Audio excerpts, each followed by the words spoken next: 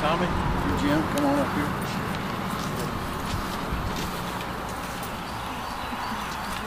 A number of months ago, we talked about having a flagpole here, and so we decided, well, maybe we can find someone to donate one or something like that. We weren't able to find that, but we did find one that had been taken down at uh, Cullasaja uh, School, and uh, David Curtis.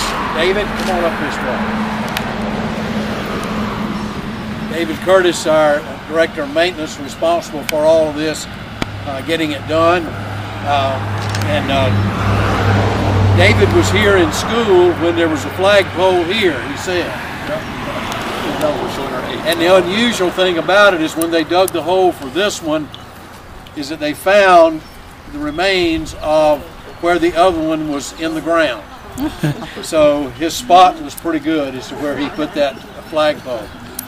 But we requested from one of our senators, Senator Richard Burr from North Carolina, to see if he could find a flag for us that had been flown over the Capitol in Washington. And so he was able to do that, and this flag that I have in my hand here was flown over the Capitol in Washington on December the 11th, 2012.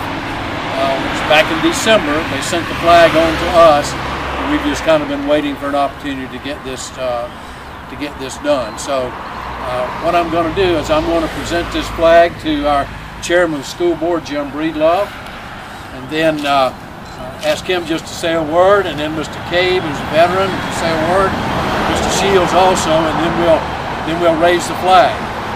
So, Tommy, I, I would defer to Tom. I would say thank you for your, your foresight.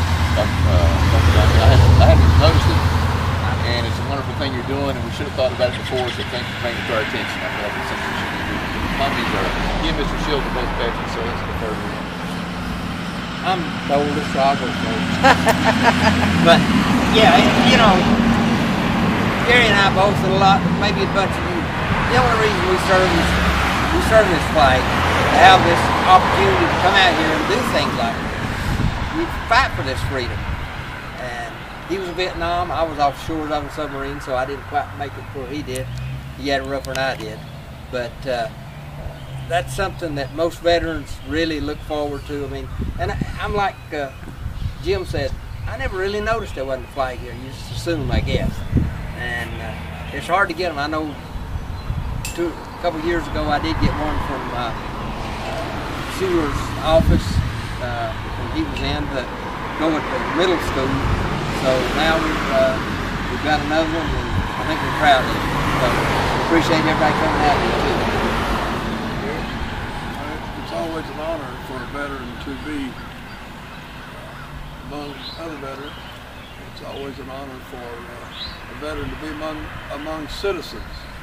Uh, then again, it's an honor to be a veteran and to be in a situation raising the flag like this morning uh, that tops it all. That's the United States flag. That's what we fought for. That's what we honor. And uh, the meaning of the flag has is so in depth that uh, it's just about spiritual. So to a lot of us, so we hope uh, that this will last a long time.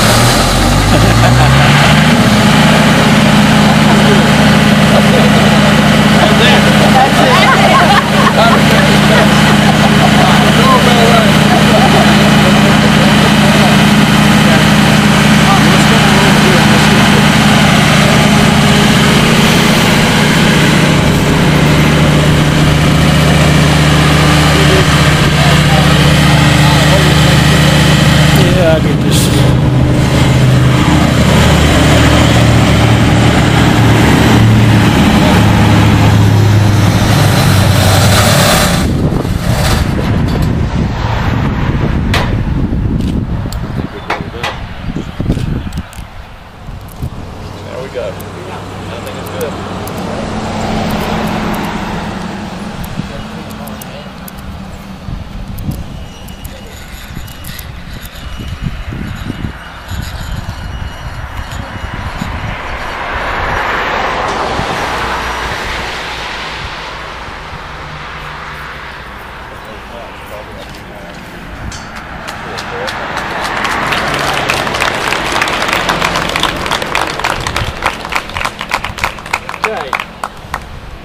Would you do the honors of leading us all in the pledge of allegiance to our flag?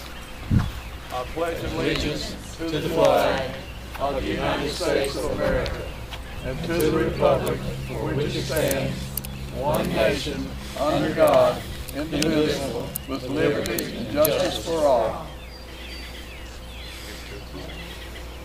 Thank you all. Thank you all for being here this morning, and uh, it'll forever fly. So thank you. Thanks, thanks David, we the know it's in the ground. Thanks to the media for all Thank you you. do. Rather than big deal. Appreciate it. Yeah. Sun came out.